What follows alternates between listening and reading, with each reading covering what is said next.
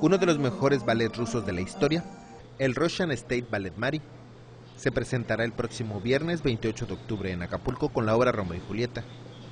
Esta compañía es considerada la mejor de la nueva generación y está integrada por 32 bailarines. Dirigido por el ex bailarín del ballet Bolshoi, Konstantin Ivanov.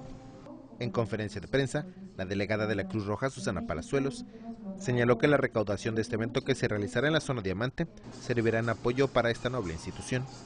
Es una obra de William Shakespeare que se llama Romeo y Julieta, con la interpretación de la música de Prokopiev y con grandes solistas, primeros bailarines, Olga Chelpanova y Konstantin Korotkov, artistas de mérito de la nación rusa, la pureza, la disciplina, la gran calidad artística y la fama mundial son los factores principales que caracterizan este, esta gran compañía de ballet. Pero sí, si no fuera por el gran apoyo que tenemos de hoteles, de, de ellos inclusive, imposible traer un ballet así con lo que cuesta. ¿eh? Y desde luego lo que sobra pues nos ayuda para todo el mantenimiento de las ambulancias que tenemos en Acapulco, que hay veces que damos entre 600 y 800 servicios en un mes, totalmente gratuitos. O sea, yo creo que el 90% de servicios de ambulancia que se dan en Acapulco los damos nosotros.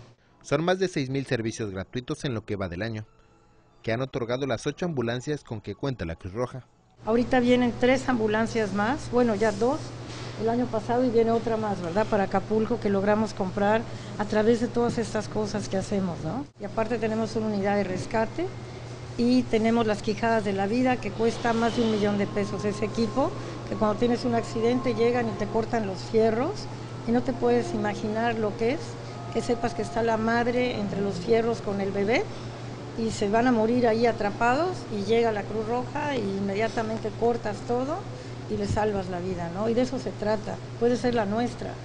Israel Ricardi, Noticieros Televisa.